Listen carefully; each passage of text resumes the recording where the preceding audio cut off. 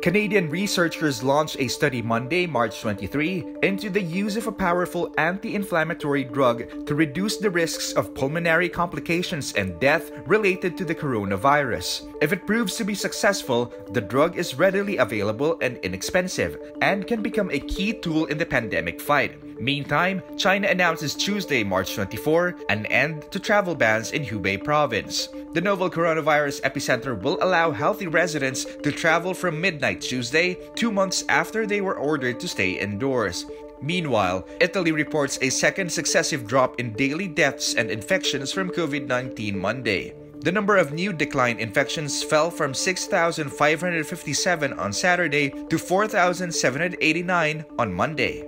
Italy's infection toll is more than that of China and Spain combined. Spain is the third highest number of COVID 19 infections.